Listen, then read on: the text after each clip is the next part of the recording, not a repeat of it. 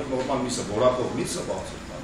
Ոչ թե շահագործված, արդեն կողի միս են, որ արդեն մեջը ոչ մի օգտակար բան չի բանից։ Որ մենք կարող ենք ասենք ամոթ ասողքի մեծ անասում միսը, երախում պետք է վիտամիններ կարող շահագործված կերպով։ Ասում են կատնամթերքի շուտային խայտարակությունների գագաթնակի կաթ 269 դրամից մինչև 450 դրամ։ Ուրեմն 269 դրամով կաթ է մատակարում խաքսը։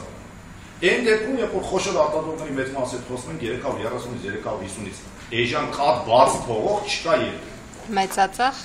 Այդ մեծածախ։ Խոշորը, որ ինքը իր արտադրանքն է բաց թողում, ոչ մի միջնորդ չկա, եւ որ ասում ես 350-ից մի դրամ էժան չեն կարող, այդ մարդու գործը մենակ կատնամոթ է կարտադրում ասում 350 մի դրամ էժան չեմ կարող մատակալ։ Մեր մոտ բրցույթ նշա 260 դրամով ու ոչ մեկի համար էս էսքան չի։ Կարակ 2450-ից 2900 դրամ։ Հիմա ես այս կոնկրետ ինչ եմ ուզում ես 2450-ից 2900 լավ խոսք։ Ենթադրենք 2450-ը հնարավոր։ Հիմա այդ 2450-ը հնարավոր է։ Ինչ ենք 2900-ը ծախ։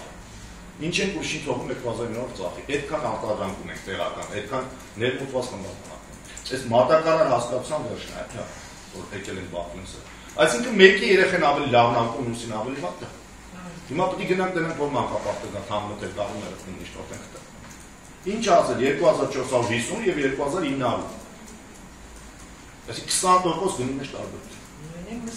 Միլիարդ